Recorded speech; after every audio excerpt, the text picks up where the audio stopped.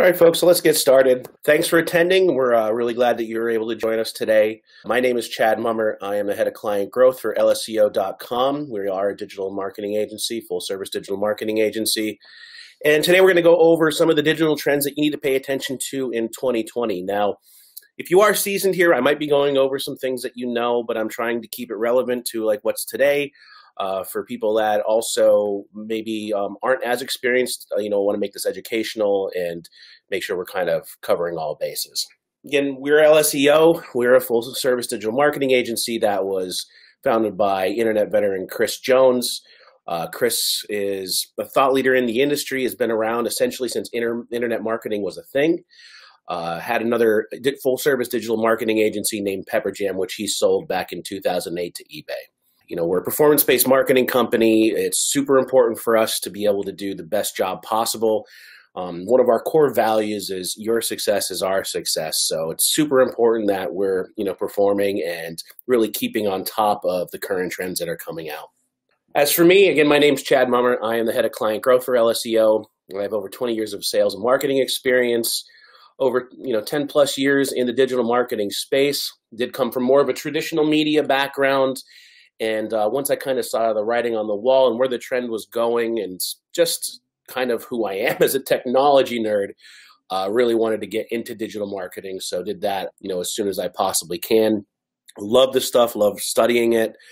Uh, really in the digital marketing space, I've literally consulted with thousands of businesses, you know, over time, and just really love what I do.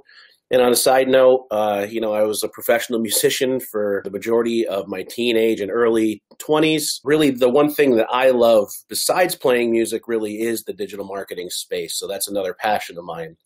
And uh, hopefully you can kind of see that going through the presentation. So we're going to be covering you know some interesting things that are going on we're going to touch a little bit on search on social some of the new emerging technologies like you know chatbot voice search and kind of go over some of those things. Now again i might not be covering everything that you want and some of these should actually be a webinar in and of itself. So please by all means just let me know if it's something that you want to go more in depth with in a future webinar and we can start to tailor a webinar around some of those requests. But first and foremost since we are basically an seo company i mean we also do paid media um, really the kind of the full gamut of digital marketing. I figured it would be a good place to start and you know kind of go over you know the state of search today. As everyone probably knows in this day and age, it's not a it's not a big surprise that Google is the dominant uh, search engine. I mean, there's not many people that say I'm going to go Bing this today. You know, Google has definitely uh, you know really have been the dominant really since the inception of search engines. They're one they're the ones that really thought it out the right way and um, honestly just are one of the biggest innovators. So, you know, just looking into that and just, you know, since the introduction of Google uh, search in 97, I believe it was, um, all the other search engines have basically faced quite a hard time trying to reach the same level as Google. So, over the past decade, Google has maintained really high market share of the search, as you can see in this chart, nearly 94% of that search. Whereas you have other search engines like Bing and Yahoo that have really kind of fallen to the wayside um, over the years. And, you know, not that people don't necessarily still use them, it's just that Google has really dominated the market. And, you know, it's not even just what Google has done with, with search. I mean, they've expanded their services to email, productivity tools, you know, mobile devices, and um, among other technology considering like even like Google Sheets, that whole suite as far as what's taken over essentially what Microsoft Office used to be. So, how many people search on Google a day? It's crazy. I mean, they have 3.5 billion searches per day. Now, if you break that statistic down, it means that Google processes over 40,000 search queries every second on average. So, also look at how Google's search uh, has basically progressed through the years. So, uh, when Google basically came out in 1998, Google was processing over 10,000 search queries per day. In comparison, though, by the end of 2006, uh, the same amount of searches were being processed by Google every single second. So, in less than a decade, you know, Google went from becoming barely known to really an integral part of everyone's life on a daily basis. So, you know, Google search's growth rate expanded significantly in the first decade of the 21st century, but it started to decline kind of in 2008, 2009, and it currently is estimated to be around 10% per year as far as growth. So, without even taking a look at this stat, I mean, we know that we're really dependent on Google. Uh, multiple times a day, you know, we're, we're turning uh, to Google to resolve our, our queries for us. About 84% of the respondents use Google in, you know, three to more times a day. This was a study that Moz did last year. So, uh, you know, Google search has seen, you know, many changes over the past few years. Google's also introduced many new components to the normal search results that you know we're getting uh, around a decade ago. So with updates like you know many quick searches like featured snippets or you know the knowledge panels that we have now, we get you know better results for what we might be searching for in terms of videos or images or where this might have been the preferred choice of searchers in the first place. So take it a step further, Google also introduced the people also ask boxes, which you know help searches dig further into the original query by showing them further questions that might be relevant to them. I'm sure you, you folks have seen a lot of this before. You know, just like many other searches, Google is also a, a starting point for almost half of the product searches. So about 46% of product searches begin on Google. Uh, with the latest data, you know, Amazon surpasses Google when it comes to the product searches. Trust me, the boxes that accumulate in my house is, is, is definitely living proof of that. 54% of searches actually are starting on Amazon now as far as product searches. Google's definitely a big player. Um, you know, there's a lot of people that really invest heavily too in like product listing ads, those type of things on Google. They're really, you know, in our, you know, from what we've seen in conversion rates, really have a high conversion. Uh, you know, if you're looking for something on Google, chances are you're you're going to stay on the first page. You know, 90% of the survey respondents that Search Engine Land did um, in 2018. I know that's a little bit dated, but it's still super super relevant. You know, most people are are either not finding what they want in that first page, or they just essentially just start a, a brand new actual query. So if they don't see what they want on that first page, they're just going to do a different variant as far as you know a different question that they're going to they're going to ask you know, this is super important to understand. Obviously, it's super important to be on the first page. You know, there's that ongoing uh, joke that, you know, where do you hide a dead body? Put it on the second page of Google. So, you know, anybody that's really, you know, in a business trying to focus on getting to that first page, we understand that that's super difficult, but really relevant that you actually put the, the work into it so you can get on that first page search result and to really dominate for those type of services that you're trying to promote. So I thought this was funny. Uh, you know, what was the, the most search term in Google for 2019? And that was Facebook. And the reason that I think this is hilarious is that Facebook and Google are basically fighting for ad dollars at this point. So, you know, we'll get into a little bit more into the social media component here in, in a moment but just thought that that was a fun fact. Now, I think, you know, going into mobile, I, don't want to spend a ton of time on mobile. Everyone knows that this is like a super important factor. You know, uh, Google has just recently rolled out what's called mobile first indexation. So they're really actually looking at, you know, your actual mobile version of your website before they actually look at the desktop version, which really does make sense considering on the percentage of traffic and the way this is really just exploded over the past several years with having higher speed internet as far as what you can have. We have 4G, you know, going into 5G at this point.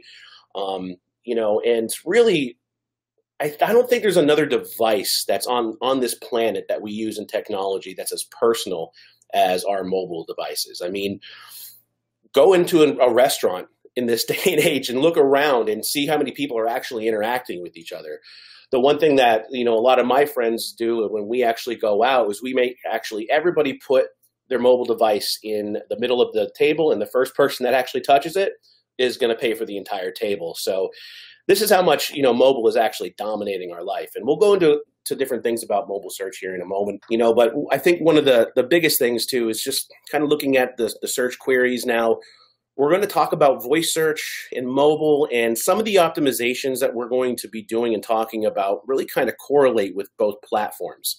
So really with mobile, you're looking at more of the long tail queries, um, informational queries like, you know, who won the most Grammys last night or whoever it may be. You know, local searches like finding a restaurant or, you know, somebody like a service based industry like plumber near me, those type of things, um, you know, which is obvious. So, you know, transactional queries as far as just different things in that aspect, you know, research, um, definitely a lot of like the how do. And really what I'm going to focus on more so is the conversational and the personal search. So you know, personal search and conversational search are the latest evolution in how people search. It's definitely driven by mobile searches. Uh, the way people search has changed because they are searching on phones. This uh, must be taken into consideration when you're creating your search strategy. So it's a lot different um, creating a strategy kind of around mobile than it would be, say, desktop. Desktop could be something that's a little bit shorter. So we'll just use the, the example that plumber near me or you know, when you're asking on the phone, especially if, it, if it's a voice query, you know, you're going to ask the full question like the way somebody would normally ask a question. So I, I, also want to talk about, you know, conversational search as well. Let me just go back to this one for a second. You know, conversational uh, search is a reference to use uh, the natural language in search queries. Even with Google's BERT update, which is the latest one, is really focused around natural uh, processing as far as natural, just the way people talk. So RankBrain was the first one that really started that, and BERT is just personifying that and making it that much better. So, you know, that natural language processing and having a, a, natural conversation is really what search engines are looking for at this point. And we'll get into how to optimize that for both mobile and search, like I, like I mentioned. But couple things that you would want to do when it comes down to just the user experience and things that can really help you out um, as far as optimizing for mobile. So page speed is a huge difference. We're going to actually use Amazon here in a second to uh, kind of show the difference between how a website would load on mobile versus desktop and how dramatic that actually could be. Also, the responsiveness of your website. So, you know, how great does it look like on on different uh, versions of phones? Is it easy to navigate? Um, you know, do you have expansive type type of clickable assets, like um, just like different search queries, or as far as frequently asked questions, those type of things.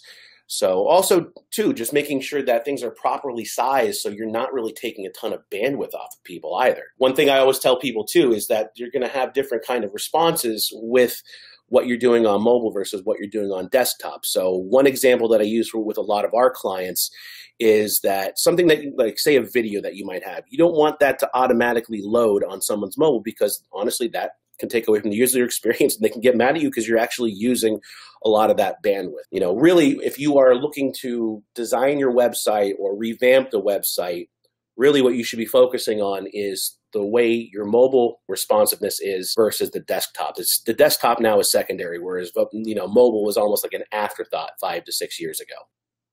So again, here is um, just the dramatic difference on how Amazon would load on a mobile version. So this is the mobile version versus the, dex- the desktop version over here. So quite different. Now, when they actually do the crawl through a website with this, they're really kind of scaling it back to a 3 to 4G bandwidth. So, you know, just to make sure that that user experience, if they have a slower internet connection, or sometimes, you know, if you're in a bad spot, you only have one or two bars, you know, you're probably getting throttled down to a 3G no matter what. So, you know, making sure that you're not only fast on desktop, but really focusing more so on how do we make that mobile version faster is really what's going to help you and give you a little bit more weight with search engines. Really, the way that they look at mobile speed at this point is either is your website really, really good or really, really bad. And anything in between is kind of, they'll figure it out, especially with the content and kind of, you know, how, how many people are staying on the page, you know, how many people are actually navigating to other places on the website, those type of things. But it's very hard, honestly, to get mobile to where it needs to be. Um, some things that you'd have to look for is, you know, you know am, I losing, am I losing it or using a ton of plugins? Um, am I not deferring maybe some of my images the right way? Am I not compressing the images like we were talking about before? Uh, is there too much JavaScript that that's getting in the way of actually loading the website um, initially and slowing that down? So there's some awesome tools. I mean, Google has one itself called PageSpeed Insights. Just Google that term and you can test out your website yourself. Very easy. Getting into social media, Um, I mean, I think this is something we all know is is a huge part of people's lives and staying in touch with people. I mean, I think it's it's one of the most incredible technologies that are out there. You know, social media has changed the way we live our lives essentially. So from the way we get our news to the way we interact with our loved ones, you know, social media is everywhere. It's unavoidable. It's powerful. And you know, it's I don't think it's going anywhere. It's expanding. So since you know 2004, social media has been growing exponentially, and it, hasn't reached the peak of its popularity yet. Uh, there's no denying that social media platforms are now a major source of news and information, but that's not all. I mean, social media platforms are unique in, in a way that they interact with customers. So not only do they provide a, a platform for users to communicate, you know, beyond uh, local and social boundaries, but they also offer countless possibilities to share, you know, user generated content like photos and videos, those type of things. But you know, the question is, is it worth investing in social media for your business? Should you know social media marketing be a focus area for your business strategy in 2020? I mean, the answer, I guess, depends kind of on you know the, the customers, but in no way should social media with your company or just with your brand in general should be ignored. You should be posting, you know, you know things about it. It's again when we come down to that personalization the way you know people kind of connect now you know especially with mobile devices you know we we don't want to ignore those. So you know with the popularity of social media platforms growing in the terms of size uh, each platform has a unique audience. And if you cater your content towards the audience of the social media platform that you're using or that's that they're using i should say then you'll be much more successful. So um, you know, as it starts, as you know, like the start of the year, you know, we thought it would be a great idea to share, you know, some of the most important social media statistics and uh, staying on top of the latest social media statistics, you know, will help you enhance your marketing strategy and plan those interactions for your business for the future. So it's really, you know, again, like which which social media uh, platform do you choose? And and a lot of things that you can be doing now can actually touch most of these. So you know, depending on the demographic that you're using with advents like social or um, uh, multicasting and, and live, which we'll go into here in a little bit, you know, we'll, we'll start to uh, talk about which platforms are going to be uh, the most appropriate for you. So I don't know why the magic number keeps coming up 3.5 billion, but you know, the usage of social media around the world is is always increasing. You know, it's it's without a doubt one of the most popular online activities that users engage in. So social media statistics from like 2019 uh, show that there, you know, are 3.5 billion, like we said, uh, you know, social media users worldwide, and that number just keeps getting bigger as the time goes on. So, you know, that honestly equates to about 45% of the world's population, which is just incredible to even think about the type of connection that we have um, in this day and age. And, you know, I've spent, you know, a decent amount of time in Africa and, and some of those places, and that's, I, I still talk to those people almost every day um, through those platforms. So it's just a, an amazing way to to, to keep uh, connected with people. So, you know, I think one of the reasons though for this high usage of social media is because, you know, obviously mobile possibilities for users are continually improving, which, you know, makes it simpler by the day to access social media, no matter where you are. So most, you know, social media networks are also available as mobile apps or, you know, have been optimized for mobile browsing making it a ton easier for users to access the, uh, their favorite sites, you know, while on the go. So these are some of the social media users by the generation. I don't think, again, it really blows people's minds that, you know, a lot of our, our younger group, like the millennials, you know, this is one of the main things that they use. You know, Gen Xers use it almost as much. And I almost kind of disagree with the baby boomers because I know a ton of parents and even, you know, some, you know, the people that are in my family that are in their 80s or so. Uh, you know, my one aunt Marilyn, I mean, she posts daily. She's always posting things, always commenting on people. Uh, so it's really interesting to see how, you know, I think multiple generations have really embraced social media and, you know, realize it's a, just a super powerful way to connect with people and, um, you know, connect with like minded people as well, not just family members or friends. 90% of social media users access social channels through mobile devices. The demand for mobile friendly content across social media is, you know, rapidly increasing and, and justifiably so. Likewise, almost 80% of total time spent on social media sites occur on mobile platforms. So smartphones and social media are evolving side by side and your brand should make sure to keep up with those trends. So mobile friendly interfaces are, you know, the way forward. And if you're marketing online and you need to, you know, make sure that your content and layout is is optimized for mobile and and why not i mean people take their smartphones everywhere and you know if you really want to be accessible you have to keep that mobile in mind and as you can see from you know social media marketing statistics you know different platforms can serve different purposes so you know you'll have to be the judge of which social media platform contains your target audience and which you want to really market towards and you know this could help shape your social media marketing plan just in general. So use these social media stats to get better insights into the world of social media and how you can maximize your search results using these tools.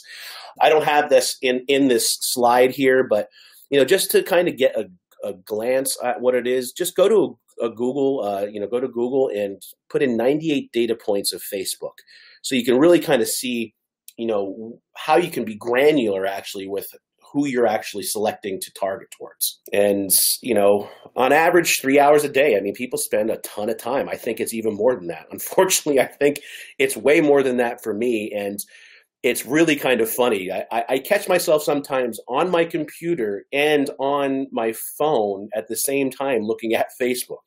So, you know, it's just a, a very powerful medium. And, you know, Facebook feeds off of this. You know, uh, social media, you know, statistically uncovers that, you know, in that three hour period per person on social networks, you know, it's just a, a very easy way to be able to to really get out in front of your audience. And when you look at and think about just social media advertising in general compared to other forms of, of advertising, let's just use uh, commercials. So commercials on TV, you know, that's more of a disruptive advertising uh, method. So it's it's taking you away from something that you want to do and something that you're enjoying. We're kind of blind to that anymore, and to be honest with you, sometimes we're, we're rather annoyed with it. Whereas something like social media, we're basically giving people permission. Do they want to engage with our message or our brand?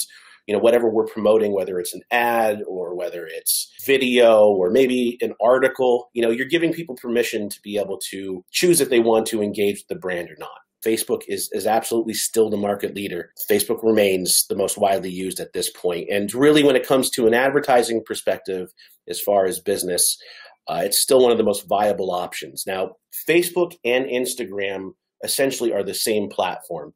Facebook really has more of a, I would say, a little bit of an older audience. So let's just use 30 plus up. Um, whereas Instagram might have a little bit more of a younger audience. And I think it, it, it's definitely intermixed now. I think Instagram is definitely taking off a little bit more. So, you know, it's something that, well, if you're doing an advertisement or anything like that, you know, it's something that the Facebook manager will help you really choose on who's going to be the appropriate audience, considering some of the target demographics that you might be using. And influencers are are super huge on on social media. Um, you know, when it comes to either like with me personally, like I said, like I'm a musician, so influencers that are using maybe equipment that I'm going to buy or uh, I love skiing and stuff like that as well, and mountain biking. So looking at you know some of those other influencers that are coming out with some gear, and uh, kind of doing the review on the gear. You know that social proof that people are looking for to say, okay, well, if these people trust it, and you know they they go through it thoroughly on why they enjoy or, or what the pros and cons might be of a certain product, then um, you know obviously that will be something as far as you're factoring into either am I going to buy this or not. Um, you know and this is really too it's not just the macro influencers like the michael jordans that we've thought about in the in uh, the past. There's a lot of micro influencers that are really making a, a, ton of impact for for different brands and different products. Um, and honestly a really really good living. My one cousin jonathan and his wife uh, they travel all over the world. Uh, they you know hike mountains. They do like crazy athletic stuff like marathons, triathlons, those type of things. And they are endorsed by, I would say, over a dozen products. They get all those products for free, and all they all the products really want in return is uh, to be able to get some of that social proof out there and to uh, review those products.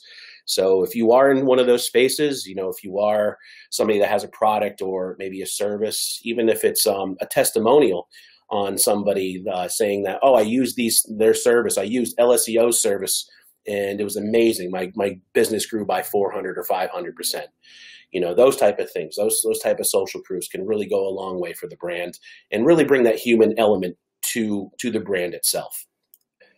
And it, you know, social media definitely has a ton of purchasing power. You know, whether it's retargeting or remarketing or really doing any type of push campaign. So push marketing through maybe like a new product that might be coming out that might not necessarily be that searchable. You know, this is a great way to get that product in front of people that are going to be the most likely to buy. Especially, like I said before, too, with some of the targeting demographics that you have and how you can really use those those specific type of client avatars and creating client avatars on who's the most likely that's going to buy, you can really get your message or your product really in front of the right type of eyes and the people that would be the most interested and storytelling. Again that personalization that making sure that you you you give that human element to your brand or products. Uh, you know it's growing day by day. And you know we're 500 million daily active instagram stories are, are um, being used worldwide at this point as far as at the end of uh, 2019 it's pretty amazing how how this can actually work though too. So i, I kind of use this picture because this was something I did in a story on on Instagram. Now this is our building, so we, you know we have a five uh, story building in our city that we we're in, and when we first purchased this building uh, last year, they were putting up the sign, and you know obviously we're taking some pictures. So what I did is is I actually told people that someone stole the M off of our sign and it, it's unbelievable the type of people that were hitting me up after that. And th- this is a story i did last year. I still have people asking me about it. So you know doing something quirky like that can really still get uh, you know garner a lot of attention. And when you tell people you kind of did it it was kind of like a guerrilla marketing tactic or whatever. You know it's something that again brings that human element and you know more of a characteristic and personality to the brand rather than just being something that's stale and, you know, like I said, some of the non traditional social media channels that are really starting to gain some attention. So, you know, we're, just going to take Facebook, Instagram, and Twitter out of this since they've been around so long. But, you know, WhatsApp is really, uh, you know, taking off. Uh, TikTok is is really exploding over the past couple years. Um, you know, since I would say probably about 2017. That's when I I know that's when I first started using it just to to kind of understand what it is.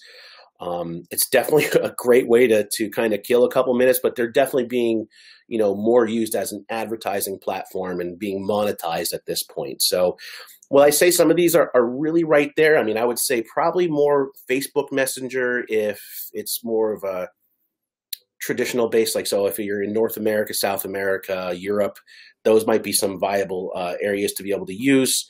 Uh, WhatsApp is definitely um, an international type of app that is well, Facebook owns WhatsApp as well.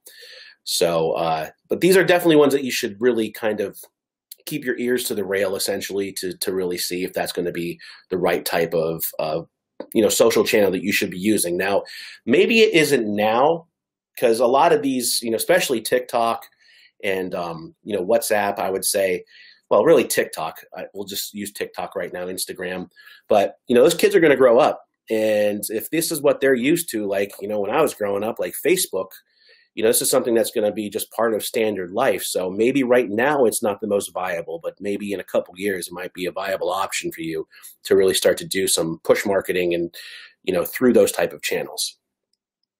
So chatbots. Now I, I do go a little bit into AI. I'm not going to go into a ton of AI here because um, just really want to kind of talk about chatbots in general uh, you know, how they can really help and um, yeah, just go from there. So, you know, really the surge in on-demand messaging has has shifted consumers' uh, preferences uh, for communication. So, you know, more industries are integrating chatbots into their business processes.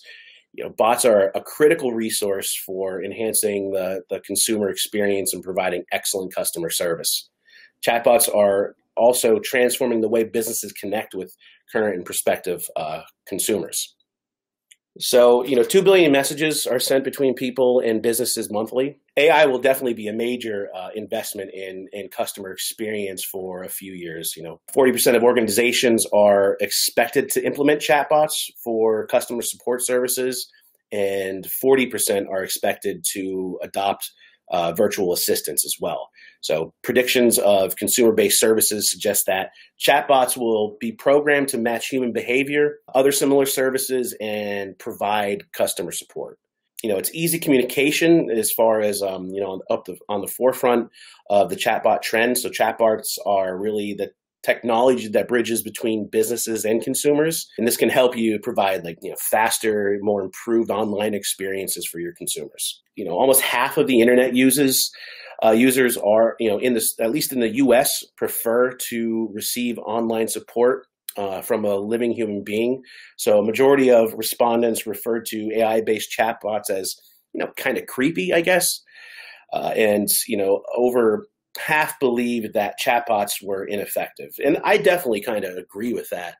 Um, but you know, it's just amazing how the you know how human the human element is really getting figured out by AI, and we'll, we'll go a little bit into that when we when we start talking about AI in and of itself. But by no means is chatbot our chatbots going anywhere but up at this point. And you know, some of the major industries that have really seen some growth through chatbots and are really profiting from chatbots are finance, healthcare, education, travel, you know, real estate industries.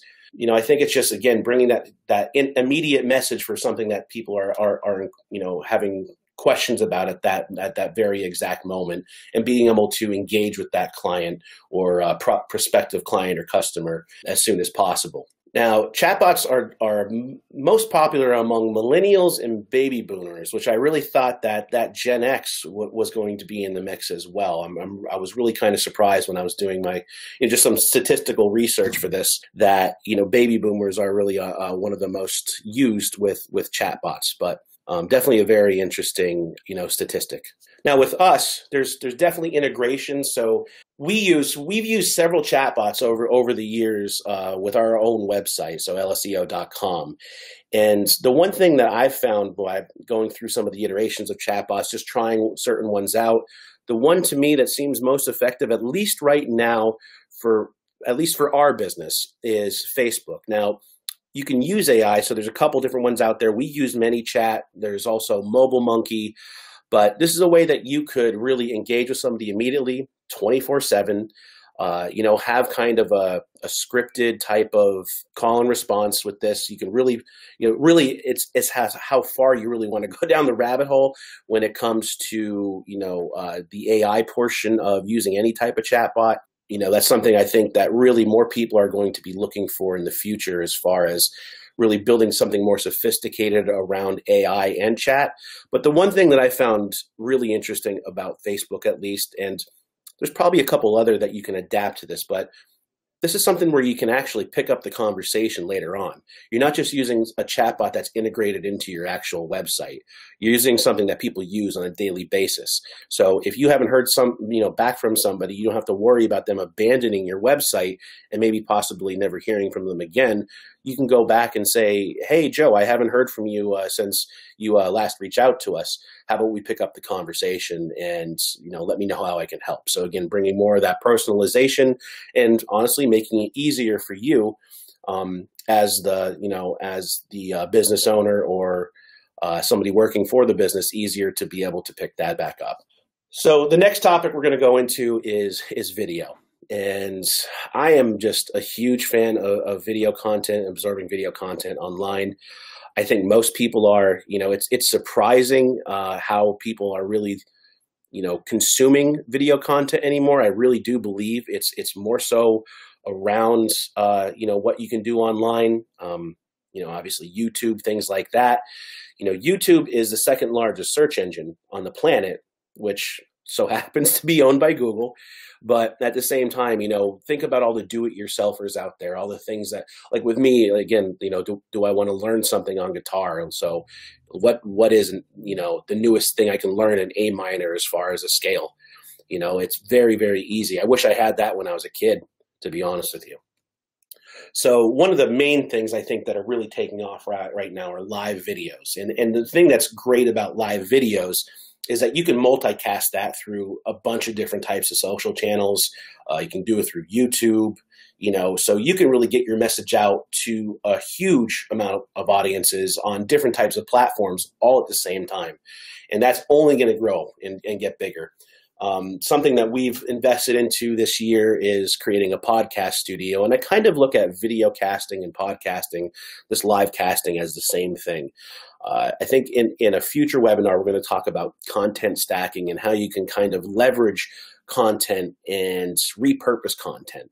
But you know, doing these live chats, having that, you know, or not live chats, live videos, you know, having that over Facebook, YouTube, Instagram, uh, LinkedIn is is another one that kind of hit that live element as well. You, know, you, can get out to a ton of different people at the same time, and they don't necessarily have to be in the same place. So super super powerful stuff.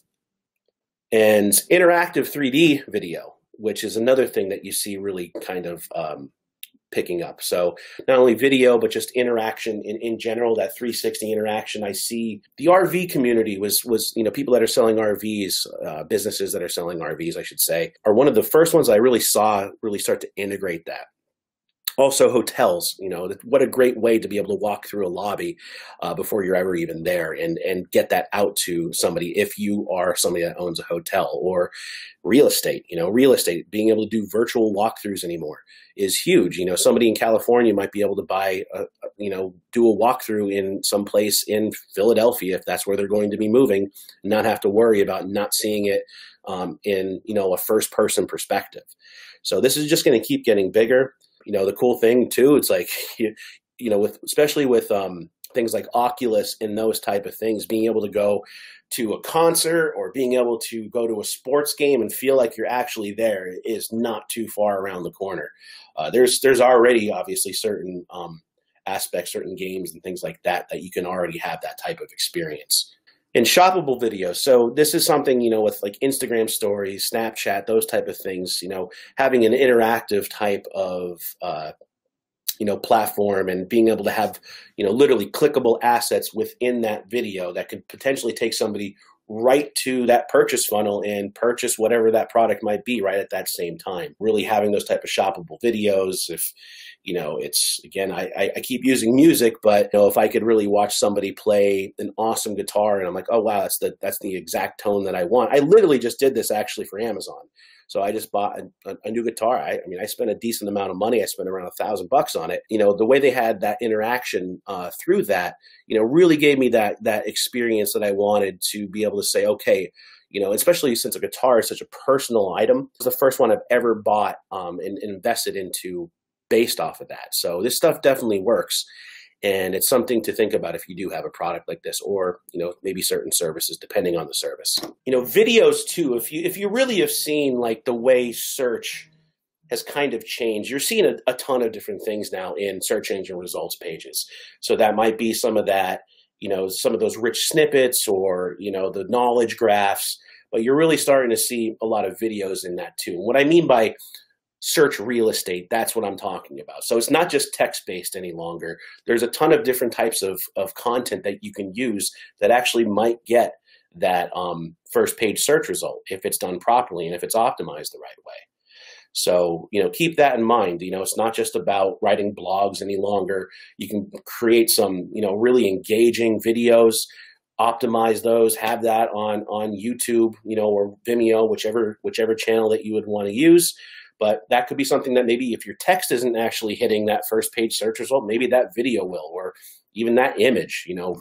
So I don't want to leave images out of this either, but you know, you, you can kind of get what I'm saying with this. So, you know, really start thinking about how you can diversify your content and, you know, not just, I wouldn't say get away from blogs. Obviously that stuff is super important, but you know, how could you start to incorporate some of this richer type of content into your overall content marketing strategy? Also, too, training and educational videos are still continuously growing. Uh, this is definitely more around, I think, the technology, uh, you know, side of things, uh, software as a service.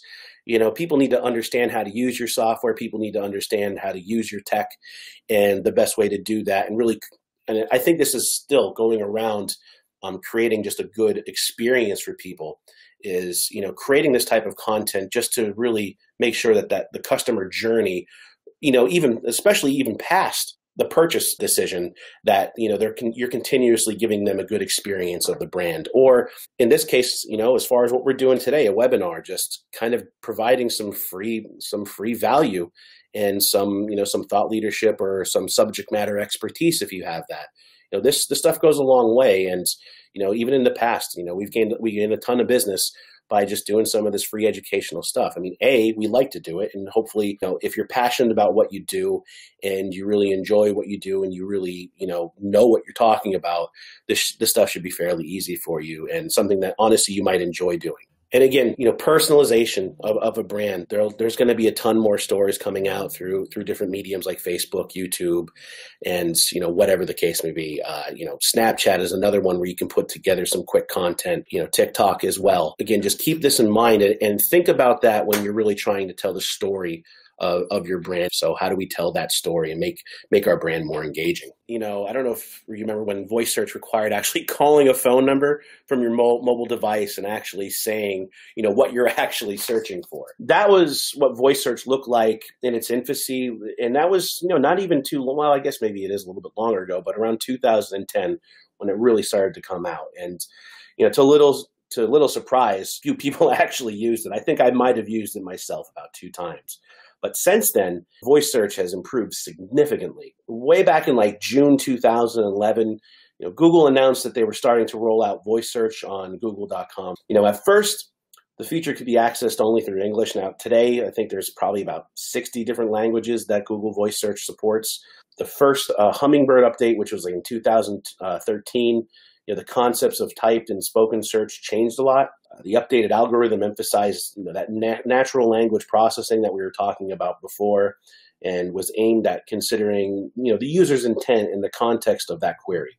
So from then on, you know, search questions structured in sentences have you know returned to more relevant answers. So you know, with voice search, people typically ask you know long form content as they would normally speak. The Hummingbird update gave that huge push to voice search optimization and I, I, think I utilize this probably more for, for local search as well. I mean, I, have I've noticed even myself, like over the past year or so, instead of typing anything, if I'm on my phone, and again, I think most of us are searching on our phones today. You know, we just just hit the button and, and talk to it. It's gotten so good over the years. It's just amazing. Even sometimes, if if you even kind of stumble through uh, what you're saying, how it can actually figure it out. Local search is definitely one. So restaurants near me, or hey hey Google um, you know, where can I find the best pizza? In, in you know, that might be.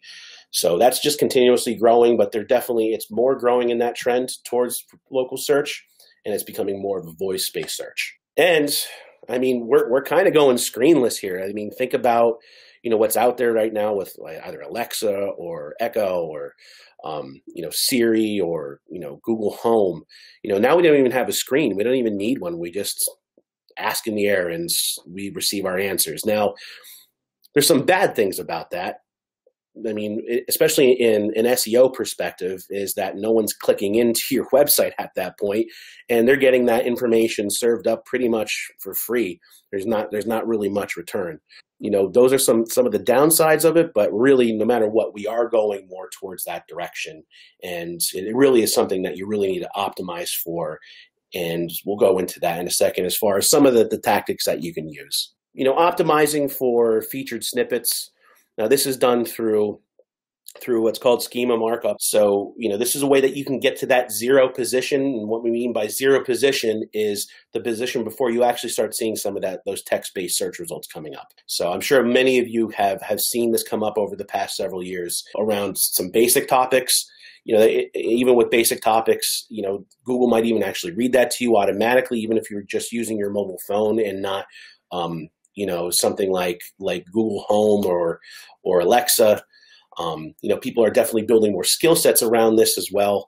So, you know, it's definitely something that you would want to do. Now, again, this is for mobile and this is really kind of for voice search. So there's kind of a, a two pronged approach here as far as the same type of tactic that you would use um, for both voice and to help with mobile. So structured data is is what we're talking about here as far as schema markup, stru structured data. So, you know, this is just a better way to really give all the information to search engines to really truly understand, you know, what that content is on on your on your website or on a web page. Uh, I use this because I think it's just the easiest way to represent it. So an apple pie recipe, you know, this is stuff that you would see in those, you know, featured snippets like we were showing before. you know, this is something again that can help you get five star ratings or whatever your rating is, you know, in, in a natural search, but also helps search engines understand in a voice search perspective, giving them, them more information on content represents. And so, you know, optimizing your content, like we were talking about before, you know, it's definitely more around the, the longer tail keywords and questions. So, you know, I think every time I really kind of do um, a consultation with a lot of people, people are super focused on on keywords. How do we get keywords in? You know, how many keywords need to be in there? You know, everyone has probably heard of keyword density, those type of things. Where why don't you kind of take a, a, different approach on how you really start to think about this stuff any longer? So, you know, think about it as a seeded topic. So, you know, voice search. What are some of those subtopics that are around it? So, natural language, okay, organic traffic, voice so, search, SEO. You know, this can give you a better content. picture on what people are actually asking. But most importantly, you know, using uh, search tools like, you know, what we're using right now for this would be SEMrush. There's a couple other ones out there that you can find as well, but it will start to help you actually understand, you know, what are people asking around a certain topic. You know, I just use voice search for this as, as an example, but this is how you can start to craft some of those frequently asked questions and really become the authority around a certain topic whatever the case may be if it's if it's a service or a product start using tools like this or make sure that at least if you are using an SEO company or a digital marketing company in general that they're taking more of a, a topical approach to your content and really optimizing it for what people are really asking around a certain topic. Now lastly, we're, we're going to talk about AI. I mean, this, you know, AI is kind of scary. You think about uh, some of the movies like, I mean, The Terminator, you know, what happened in that aspect when, when AI was able to become a, you know self-aware those type of things. But right now it's it's an amazing tool to be able to really understand. Artificial intelligence has you know undoubtedly been technology story of the 2010s and it doesn't look like uh, you know the excitement is going you know to wear off. So you know the past decade will be remembered as a time when you know machines that can truly be thought of as intelligent as in like you know capable of thinking and learning like we do started to become a reality outside of science fiction. While you know no prediction engine has yet really been built that you know can plot the course of ai over the coming decade we can be fairly certain about you know what might happen over the next year or so. Uh, you know spending on research development deployment and debate over you know wider social implication rages on. So you know meanwhile you know the incentives only get bigger for those looking to to roll out AI driven innovation in some of the new areas, like as far as their industries or fields of uh, science. You know, really kind of data our day to day lives. AI in search. So we have you know a couple that we've already talked about. So you know, voice search. You know, Google's RankBrain is really their first AI that they've put out that has significantly changed search results and significantly uh, changed you know the way you know search engines work in general. And then we have some of those newer technologies, like we were talking about, like Alexa, you know, Google Home, Apple Siri, those those type of things. And really, too, AI and web design is, is something that might be something you know very in the near future that we might not you know don't need to be a programmer or a designer in this day and age. This could be something that a website can be just built by AI in and of itself. So there, you know, there's already applications like Grid that use our artificial intelligence to design website based on user, you know, provided information like images, text, calls to action, those type of things, and they can make the website look professional in in much less time. You know, sometimes at an unbeatable price. So it'd be interesting to see how this comes out. Honestly, if it's done the right way for you know SEO and search engine optimization, to uh, see if that's going to be a viable option. Your user experience you know, and just through intelligent algorithms, like it's possible that, you know, to personalize an experience on, on the website, you know, after analyzing thousands of data points on a single user, you know, it can include like location, uh, demographics, devices, interaction with sites.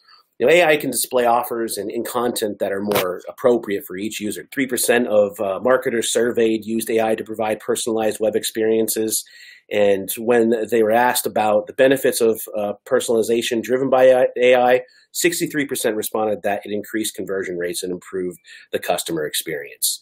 So, again, this could be something that, again, I don't think a human element, if it's going to be done the right way and you really want to be progressive in the type of results that you're getting, I think AI is definitely becoming more of an assistant to web developers and designers and SEOs alike, you know, people that are, are looking for user experience and being able to possibly tailor that user experience around, you know, different people. So, you know, just because you have one website, and you know, just like anything else with with design, you might think it's amazing and, and, that you love it. Your entire team loves it, but you know that one other customer that might come that might be a high valued customer and maybe just doesn't like it. So you know, it, it's interesting to, to even think about like how it could possibly be malleable to you know people that are actually coming to your website and literally in real time, you know, turn that website into something that might be more appropriate for that specific user. So that's exciting to think about when you think about it and you know how web design could change with AI in the future. And you know, I don't believe that this is this is far off, but you know, obviously we all know AI and chat bots are, are are being highly integrated today. Like I said, we're using, you know, an AI software called ManyChat. There's like Mobile Monkey, those type of places that you can use chatbots. A lot of chatbots do come with their own AI. Some of that stuff is could be rather clunky, but you know, again, it's getting better and better over the years, and it's definitely a great way to be able to again immediately engage with uh, you know prospective clients and be able to really tailor it over time to really feel more human in the way you would actually interact with them until you have the time to be able to go and do so. Um, you know, with us, it's it's definitely helped us improve uh, conversions as far as just the engagement in general on our website with after hours and you know getting people from overseas uh, to be able to engage with them and, and eventually get back to them. So, uh, you know, also too with predictive analysis, you know, being able to predict the future. Obviously, that's what everyone wants, and being able to use this this type of AI to be able to predict maybe certain changes that you make in your say like your sales funnel, or um, you know things like that. Like I use a, a program called Giru that can help us kind of predict what our conversions rate would be uh, by changing certain things, say if it's in drip campaigns or um, just again if we introduce a different type of landing page, what those conversions might be. And this, you know, this type of software is only going to get better. But really, that's what we had today. You know, this is kind of something a little bit newer that we're starting this year, and we want to be more progressive. I mean, you know, over the past you know couple years, we've done these, but we're going to try to be more consistent. And really, we want to start, you know, tailoring this around to what you folks want. So we're going to send a survey out after this to uh, kind of get some of that information, what you'd want to go over with us. Um, it's not going to just be me doing these as well. So, you know, hopefully, uh, if you guys are still sticking around, I really appreciate it. Uh, but let me see. Let's see if we can uh, see if we have any questions here and see if we can uh, help anybody out. Just one moment.